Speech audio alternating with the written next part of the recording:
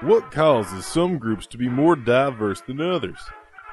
Perhaps there are some traits of species that tend to promote diversification.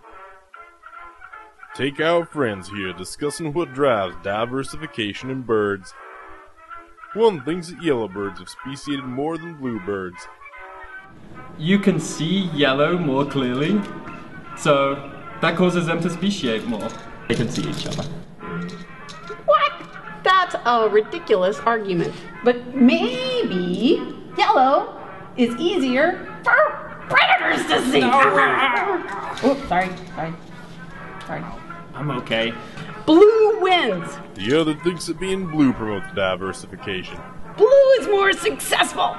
They each have a hypothesis, but how can they test it? Yellow! Wait, wait, what's all this racket? Surely there must be a better way of sorting this out. And there is. You should try using Diversitree.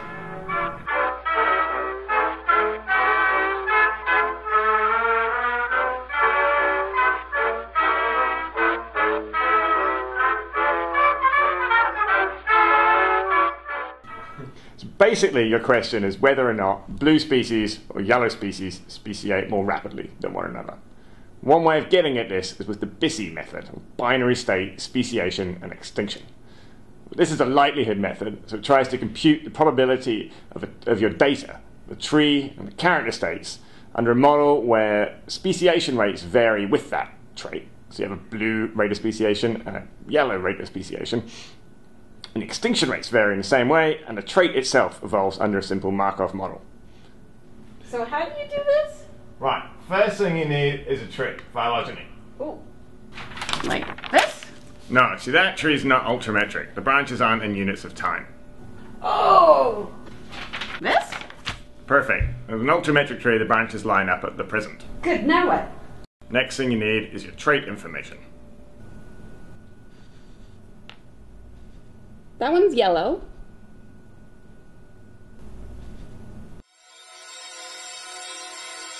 Hold on a second. I've got to fix this. I, I've got to erase this species. Well, what do you think you're doing? Erasing this species. Why are you doing that?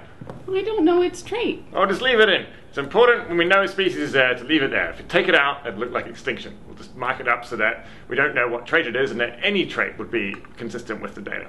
Just leave it? That's right, just leave it. Okay. So we're ready to make BiSSE now? That's right, we're ready to make the likelihood function using the make.bisse function. Okay, so I'll put all this data into make.bisse. That's right, both the tree and the trait data. Okay.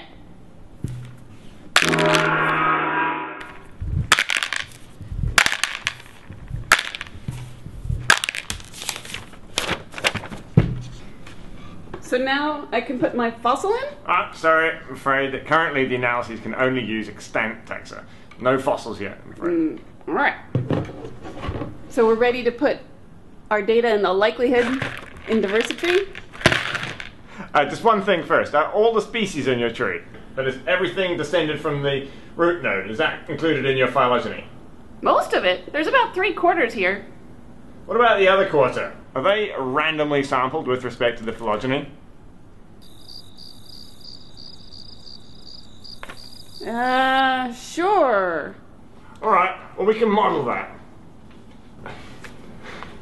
If they are, we can model that random sampling and correct the likelihood for the missing taxa. Let's go ahead and pop that in there. Okay, now we're ready. That's right. Right, now with your likelihood equation made, it's time to run some analysis. Right, in the diversitree, the analyses are separated so that first you make your likelihood function, and then you do something with it. The two broadest classes of things one can do with it is to do a maximum likelihood inference, where we find the most likely set of parameters, or a Bayesian inference using MCMC, where we sample from the posterior distribution of the model and characterize the uncertainty that way. What sort of analysis do you want to do? Maximum likelihood. MC, MC. Right, well, let's just start with ML first. BiSSE has six dimensions. Let's have a look at the likelihood surface. Oh dear. Sorry, six dimensions is a bit hard to visualize. Let's just have a look at two.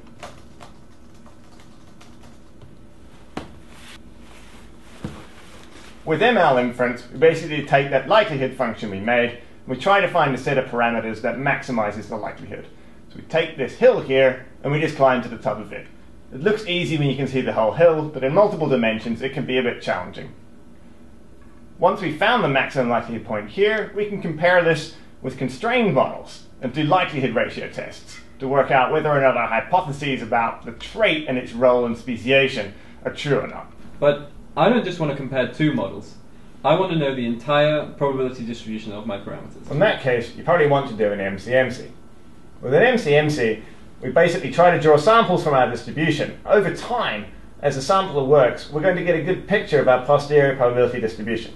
We'll be able to use that to look at how the parameters vary. Is the blue speciation rate consistently higher than the yellow speciation rate, or vice versa? So what's the answer? Yeah, what's the answer? Right. As you can see, the speciation rate of yellow species is higher than that of blue species. Oh yeah. Or rather, oh. Yellow is associated with higher rates of speciation than blue. Hmm. You know what? I think this whole analysis is wrong. We shouldn't be looking at yellow versus blue. We should be looking at hair, hairy eyebrows. Well, we could we could incorporate that. We could add hairy eyebrows into the analysis so that we have all combinations of color and eyebrow length. Then we could use MuSSE, or multi-state speciation and extinction, to try and tease out the relative associations of eyebrow length and color from the analysis. Hmm. But what if we want to do height or weight or something like that? Running speed. Well, quantitative traits you could do using qu- QuaSSE or quantitative state speciation and extinction. This takes quite a bit longer than the other states, and you can only use one st- uh, one trait at, one, at a time. Cool. How do I learn how to do those? Well, you could look at the manual. In particular, the manual has a worked example of exactly that analysis: body size in primates. Oh, okay. I like primates.